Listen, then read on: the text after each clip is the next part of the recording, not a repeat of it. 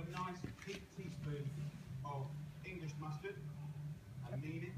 Boom. Lovely. Nice colour, nice little hum of flavour. So we'll stir that in. Then pour in the flavoured milk from the fish poaching pan. Next thing, frozen spinach.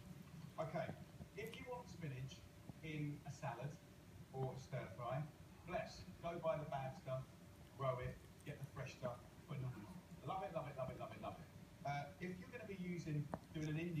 you know,